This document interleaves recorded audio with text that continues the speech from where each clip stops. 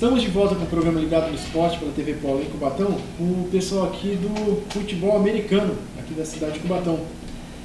E eu queria primeiro perguntar aqui, vocês têm algum apoio, algum patrocínio? É um, é um grupo que se uniu?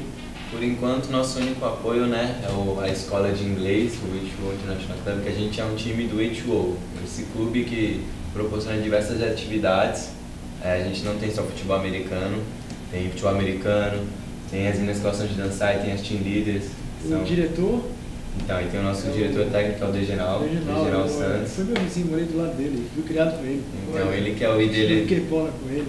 ele que é o idealizador aí da ideia do clube, do, do clube. E dentro do clube tem essas atividades, futebol americano, team leaders, quem gosta de música, tem o coral. E a gente está aqui representando futebol americano, a gente tomou a iniciativa e estamos aí, né? Ele que é o principal idealizador da ideia e patrocinador também com a escola de inglês, né? E um, um ponto legal, interessante a se reforçar, é que o, o clube de inglês, o clube de inglês começou dentro da ETEC de Cubatão. Foram alunos que, na verdade, eles, eles criaram esse clube para quê? Para começarem a fazer coisas que a escola não podia fazer. Por falta de tempo, por Você está falta de... falando é, na época da Young's English Club? Não, não, Não, foi mais né? recente. Foi mais né? recente, foi em 2000, e- foi em 2000, e- quando surgiu a 2008, primeira, quando a surgiu a ETEC. da, da, da, da Propiciar atividades extra-classe, né? Que a escola tem dificuldade de realizar para não ficar só naquela coisa, né?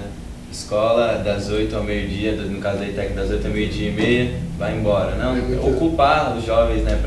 Para sociabilizar, fazer atividades extra-classe para um desenvolvimento fora ali da, da coisa da matemática, português, é, sair um pouco, atividades extra-classe para ocupar, sociabilizar, trabalhar outras partes. Mas os jogadores eles têm que fazer parte da escola? Não, Não, não, né? não necessariamente, né? Por exemplo, eu, eu faço, eu estudo em outra instituição, né? Eu faço inglês em outra institui- instituição.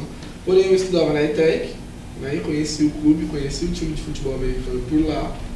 E vários outros jogadores, tem outros jogadores que são, é, tem acho que um jogador que é da Praia Grande, mas ouviu né, a fama do, do, do time, se propagou até lá, ele gostou, ele vem todo, todo sábado. É começou na ETEC, né? Mas não necessariamente só vai jogar quem é da ETEC ou só vai jogar quem é da escola de inglês.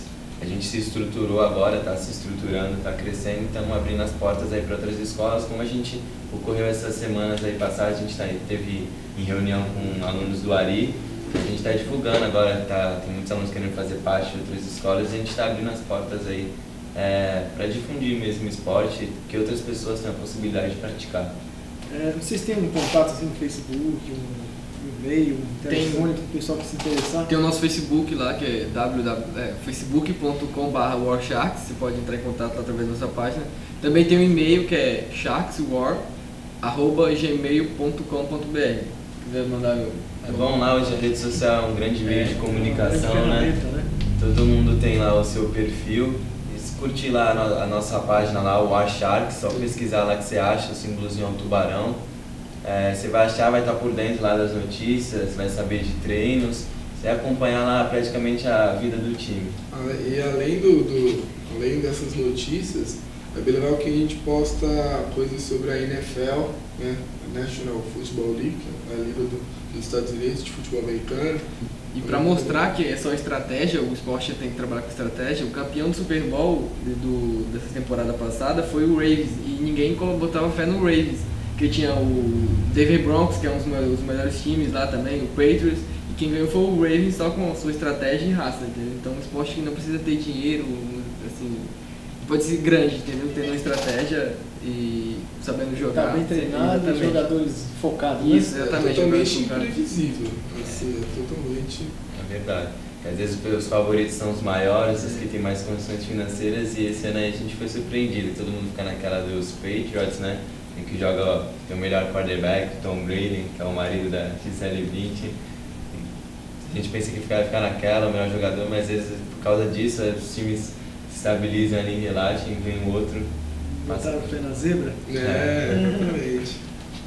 E quanto tempo de treino vocês assim fazem no sábado? Quantas horas? Então, a gente está treinando agora, a gente está abrindo uma turma de iniciante, porque tem muita gente querendo, principalmente agora com essa divulgação aí nas outras escolas, tem muita gente querendo participar, então a gente abriu um treino ali para iniciante, para passar as regras, tudo, porque a gente está com um time de competição, né?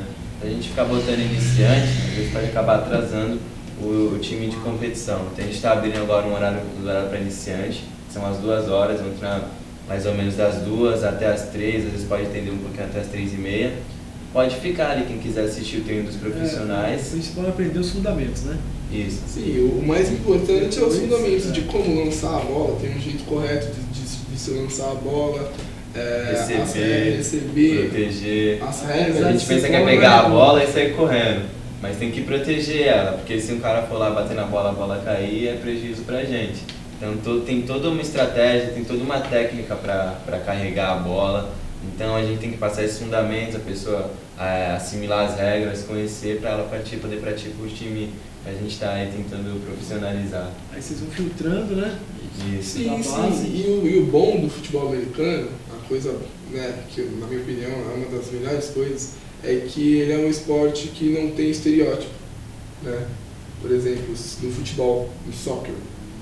Para você ser um goleiro, acho que a, a, coisa mínima é você ser um pouco alto, sabe? Exatamente. Porque tudo bem, existem, vai, você pode ser um pouco baixo, ser bom, mas são, são mas casos, é algumas raridades, algumas né? raridades, algum cara que realmente nasceu com dom. Mas se o cara não for alto, ele dificilmente vai se dar bem naquela, naquela, naquela posição, né? Aí, por exemplo, se for um cara vai, muito acima do peso, não vai conseguir ser um atacante, não vai conseguir fazer. Já no futebol americano, é, para todo tipo de pessoa tem um, um, uma, posição, uma adequada. posição adequada. Tem uma vaga, porque a gente precisa de gente leve, assim, para poder correr, para fazer a aquele que função vai do fazer o tiro. É, É, o que é o running back, vai fazer a jogada terrestre. Precisa de um cara um pouco mais alto, um pouco forte para fazer o wide, que é o cara que vai correr e vai receber a bola no alto. Precisa também de um corner, que é um cara que vai acompanhar e vai marcar esse wide. Aí já vai precisar de pessoas mais fortes para compor a linha. Então, para todo tipo de pessoa, seja alto, baixo, magro, forte, vai ter, vai ter lugar no time. Então fica aqui o recado, né? Exatamente. Então não tem o Não tem tipo físico. Não tem tipo Exatamente. físico. Então o pessoal pensa que é só aqueles. É, grandões. só, só aqueles caras, aqueles fisiculturistas, o cara precisa ser todo marombado, ele não precisa. Além do que, você pode entrar em um, em um treinamento progressivo. Né? Você entrou no time, você quer entrar naquela posição, o quarterback, por exemplo.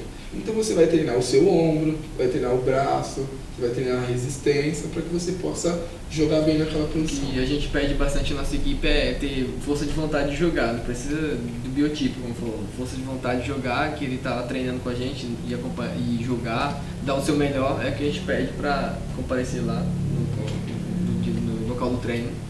Então, ó, a gente vai para mais um intervalo aqui, mas ainda tem o terceiro bloco. Não saia daí, continue com a gente, fique ligado.